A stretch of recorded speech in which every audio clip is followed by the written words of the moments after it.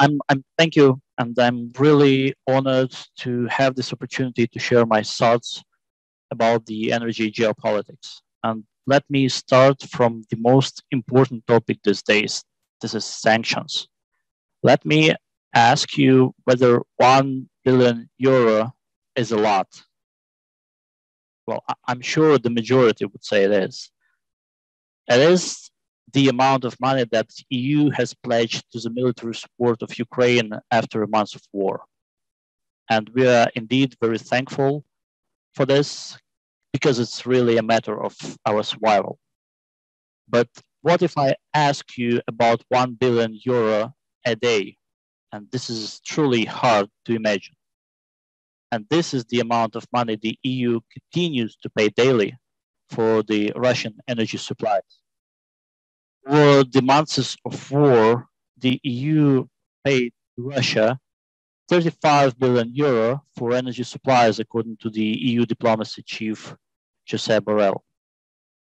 Unfortunately, today the war is going on uh, more than a month, and the war crimes are committed by Russians almost daily. That's why effective sanctions are number one priority. We have long discussed and talked that Russians were using energy as a weapon. Now it is not a mere metaphor. It makes no sense to try to stop Russian war and at the same time to fuel its army with the energy money.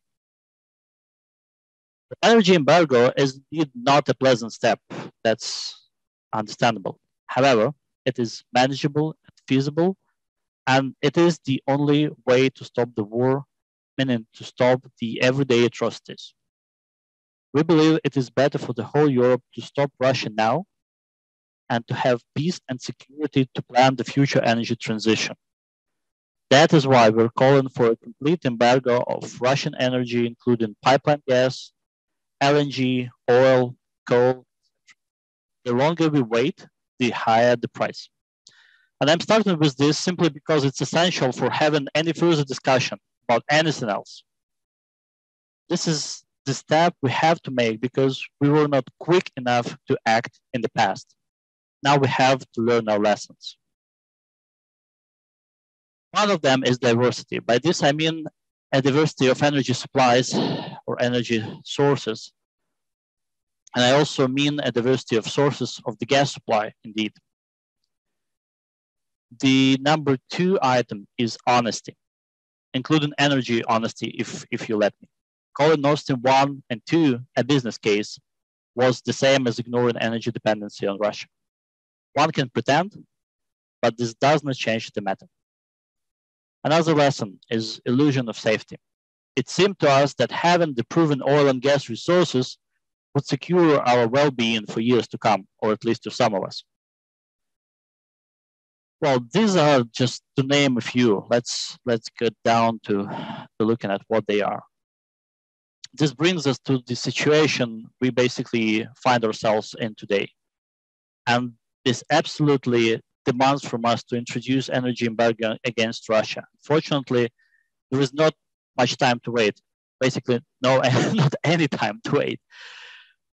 So we can not plan anymore or try to postpone these decisions. Again, the longer we wait, the smaller is the chance to stop the war. Let me then focus on some issues with energy honesty. It's crucial as we will further head into the global energy transition, discussing or replanning the energy logistics and essentially the energy mix. We saw various energy businesses exit in Russia, and we appreciated indeed their step. However, when we looked at some of the companies, it became evident that their statements were saying quite different things. Some of the statements remained just words, some companies chose to stop new investments or revision current activities. Still, a big number withdrew. We keep hearing stories. One company bought Russian oil, bought, sorry, bought Russian oil because it was so lucratively discounted. One company, again, may have decided to mix 49% of Russian oil with 51% of the other oil and pretend the whole amount suddenly came of non-Russian origin. It shows that have not realized that no business as usual is possible. The longer it takes them to realize that, the higher will be the price again. The price to Europe, as well perhaps the price to the whole world. As these days show, steps could not have been made just over a month ago. Tom, can you? Uh, there is a little problem with your mic. Uh, maybe you can. yep, sorry about that. So let's talk about the uh, assets. Well, Europe is not only vulnerable because of energy supplies, it also hosts a lot of Russian energy assets. We had a lesson this winter when Russia used its assets and lack of European determination to bring one of the biggest energy prices, price crises. You may remember that some years ago, the EU held the antitrust investigation against Gazprom that basically ended up with the last warning to Gazprom and to the demand to behave properly. Well, Russia clearly failed, failed to even think to do so.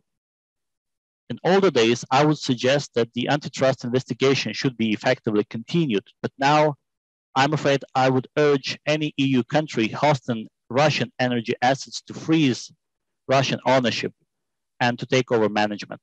And this is exactly something that is happening, and we partially seen it in the UK and perhaps in Germany. But there are many more assets around Europe, and the faster this is done, the more prepared we will come to winter. One more energy honesty thing. During these long years of building business with Russia, Europe saw a lot of consultancies, so-called think tanks, so-called experts, the PR companies that were servicing Russia and pushing uh, Russian messages and narratives through instead of doing the true products. And this is the problem. It is the wartime, and there is no place and no time for this kind of approach anymore. This has to be called by this name, and this is the propaganda. No place for this in the post war discussion about any future composition of the energy systems. The discussion has to be now about how to balance the global abundant supply and what the real energy transition is. The discussion we are to have after war is about the courage not to stop and explore further how can we build a sustainable energy future. And just to end with some positive news, sorry for being that kind of not positive, but one last thing that I'd like to share with you is that Ukraine has recently joined and became the part of the European Electricity Network or ENTSO-E. I know this is not that much of a guess, but it is far more than just electricity grids and their connection. Ukraine is now on the road to effectively become a part of the European energy market, both gas and electricity. We first expect the commercial trade to be opened, and hopefully we can, we can heal the wounds in our electricity sector. Many of you have probably heard that there are some problems in the operation as well. As mentioned, I'm going to focus on um, particularly your, uh, the situation from the perspective of Europe's gas problem. This is not a new problem, and we've gotten ourselves into this situation over the course of decades. Um, so, to my mind, we have three intersecting crises right now. Obviously, we have the crisis of, of Russian uh, aggression in Ukraine. Um, uh, the fact, as Anton says, we're funneling vast amounts of money every day into Putin's war chest. We have a fuel poverty crisis. Uh, in 2020, the EU did a survey which found that 8% of Europeans were unable to properly heat their homes uh, with the fuel prices as they are, and specifically gas prices, because we're in a gas crisis rather than generalized energy crisis, it's worth saying. Um, that's going to be much higher. We're talking well north of 50 million Europeans. Um, and we have the ongoing crisis of climate change, which is a, a very immediate crisis the IPCC's um, report last week says we need to make immediate and deep emissions reductions to have a hope of sticking to the 1.5 degree target, which we are far off track for right now, and that we need to use far less fossil fuels. Um, Europe gets approximately 40% of its gas from Russia in imports as it stands. That's vastly larger than any of our other sources of gas. Um, this is uh, a few years out of date, but yeah, you can see there Norway uh, doesn't really even come close as the as the second largest.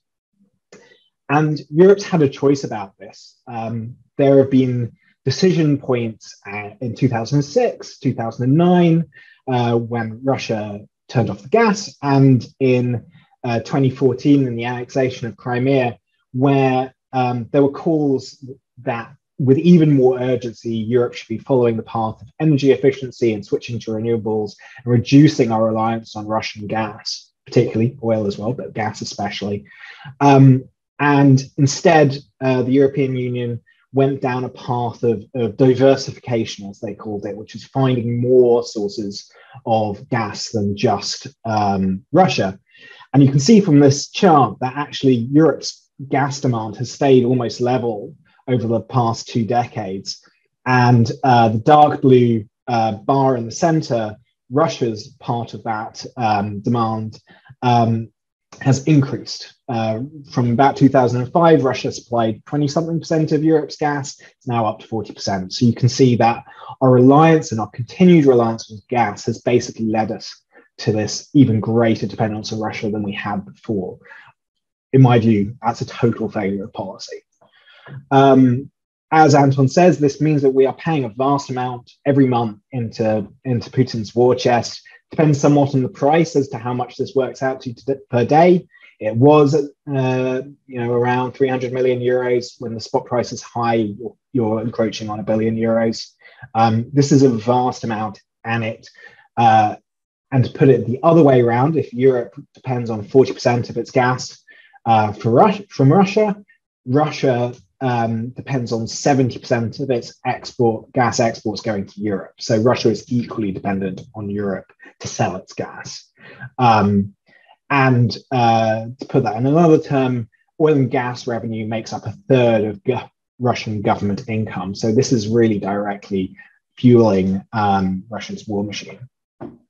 And that's been made possible by physical infrastructure.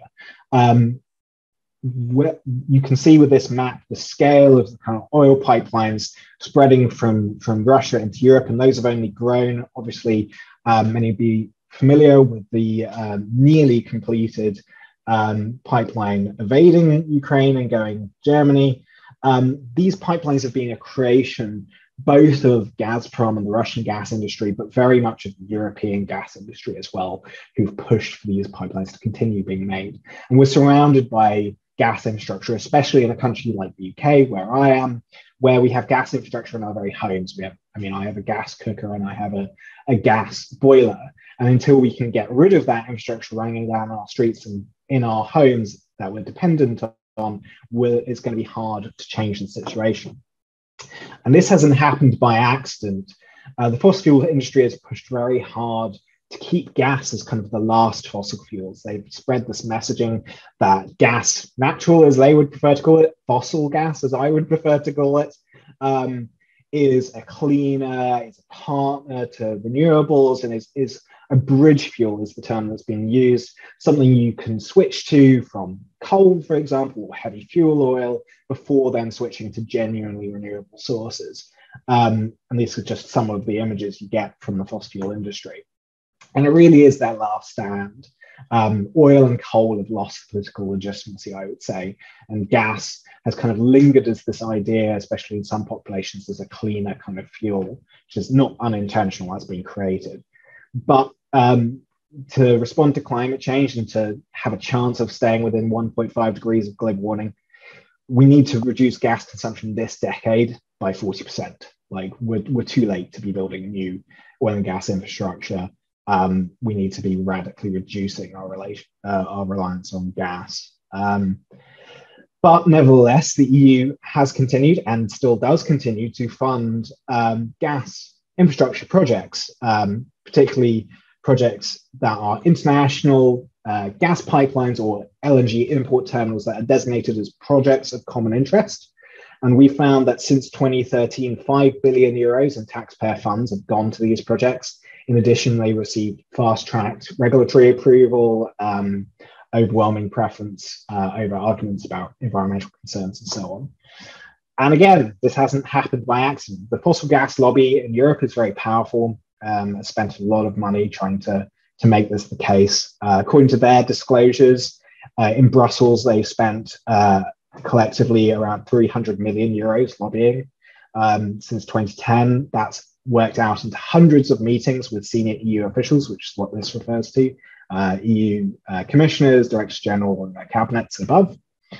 And they are worked into the very decision making process. Uh, Anton mentioned ENTSO E earlier. Um, there is also an ENTSO G. It's an awful acronym, I know, but it's the European Network of System uh, of transmission system operators of gas. So that's the companies that run big pipelines um, and big infrastructure. A lot of companies you might be familiar with in, in your own area. Um, they uh, are built into the process of what gets funding and what the future gas demand is projected to be.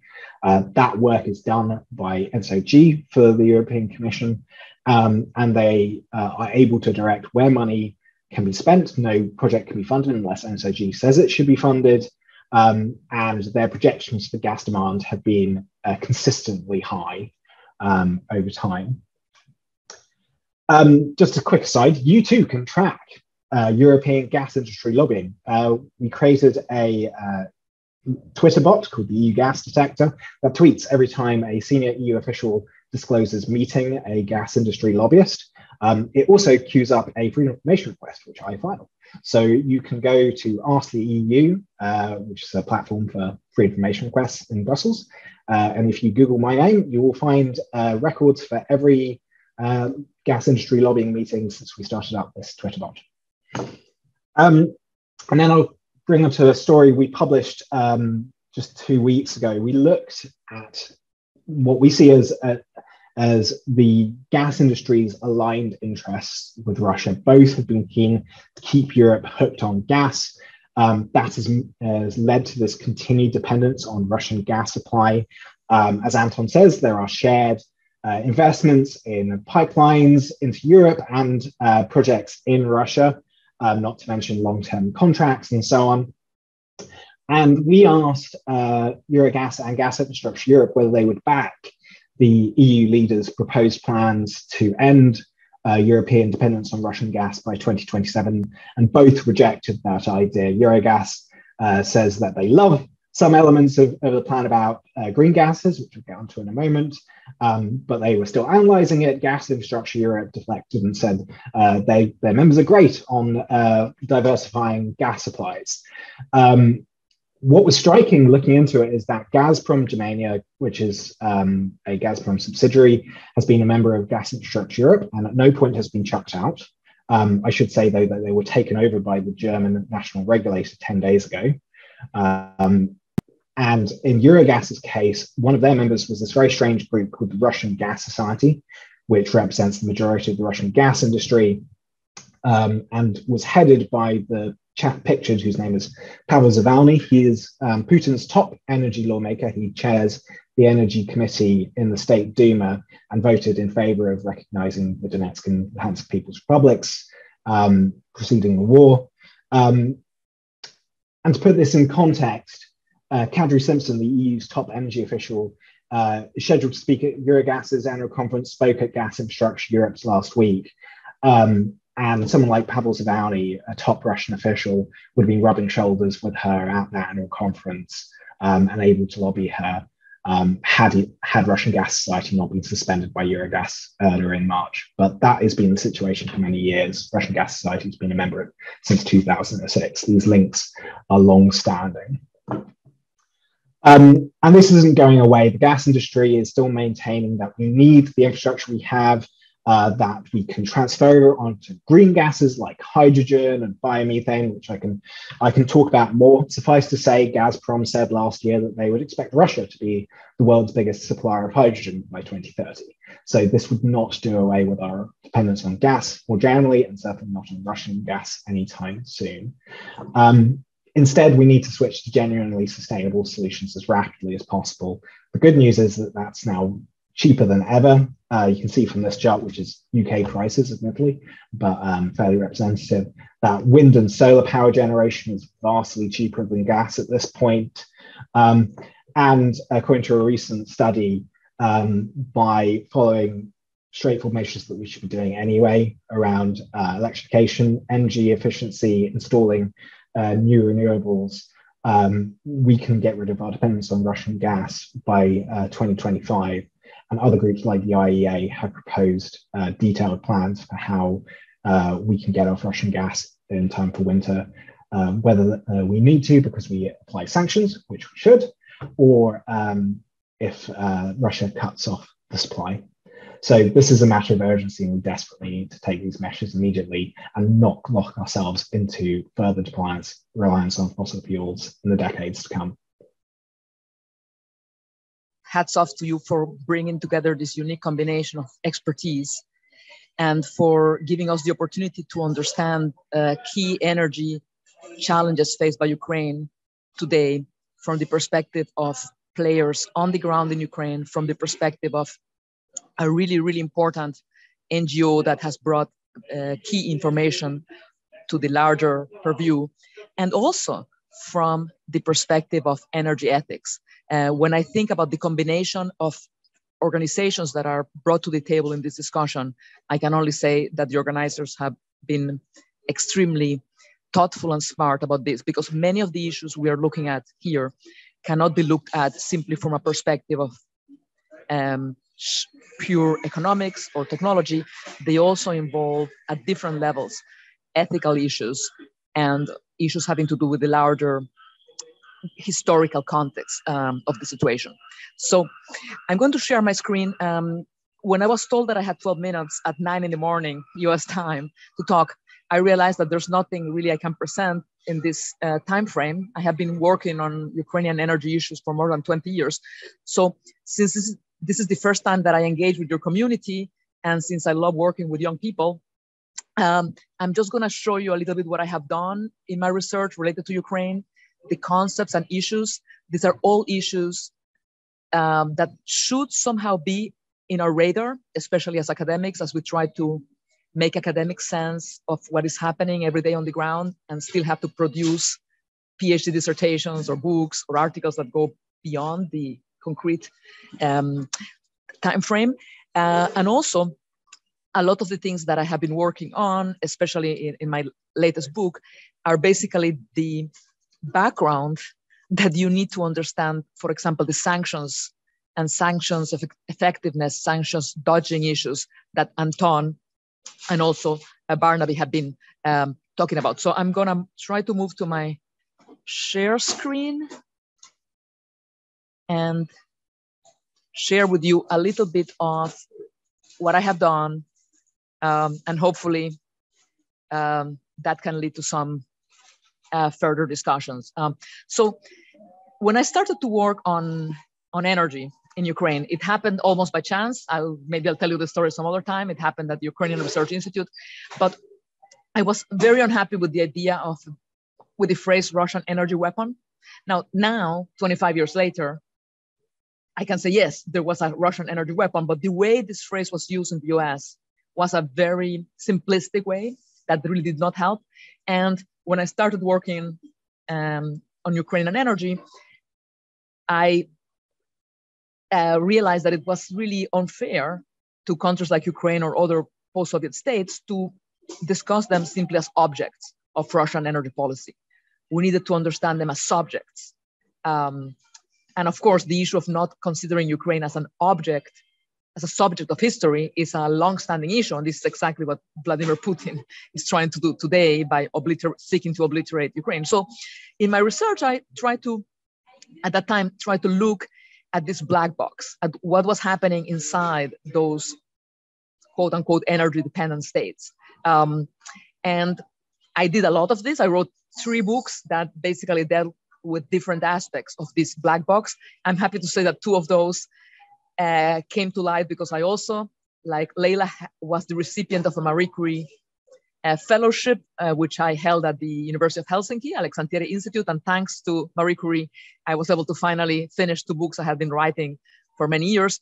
Um, and in, in that um, cycle of work, I looked a lot at the issue of the winners and losers of different energy policies, in particular, winners and losers of different ways of managing the relationship with Russia, again, very much related to ethics questions, and in particular, issues of corruption and hijacking of energy policy. So, my first book in this, in what turned out to be a series, looking in hindsight, was a book basically totally devoted to energy corruption in Ukraine.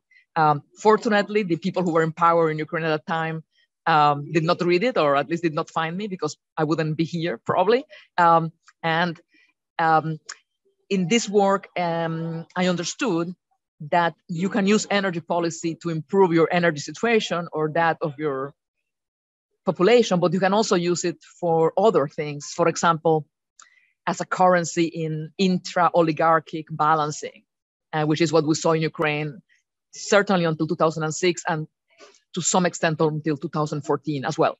Um, second book in this series, which was a, a, bigger book, which took me many years to, to, to finish, um, was a book in which I compared, I tried to understand how different political systems in three quote unquote energy dependent post Soviet states affected the way they, are, they dealt with their energy relationship with Russia.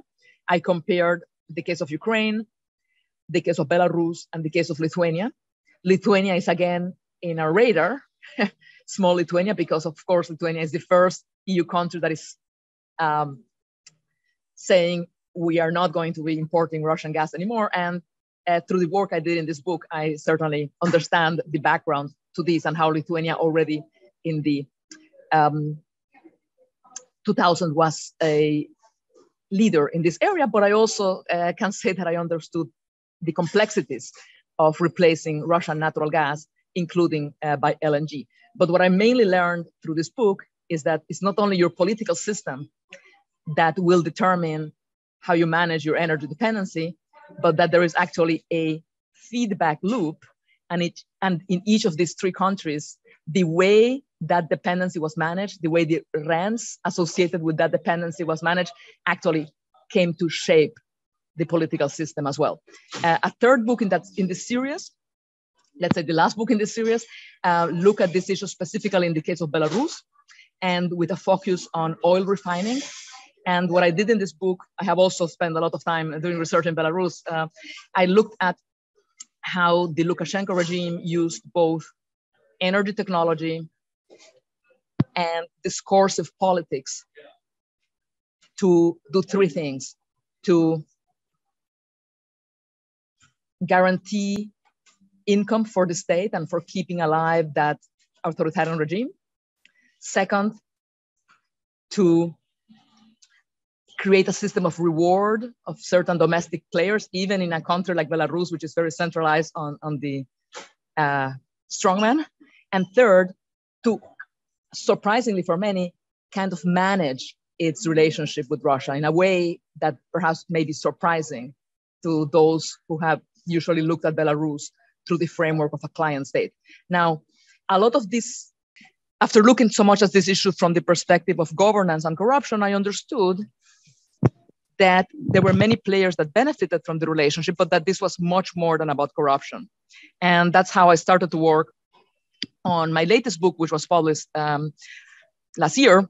And in this book, I take a much uh, broader approach to the issue of what I call threat and temptation in energy relations between players uh, from Russia, from Ukraine, and from the European Union. I do this um, by looking at the entire value chain. So I say you cannot simply look at supply to look at this, you need to look at the entire value chain.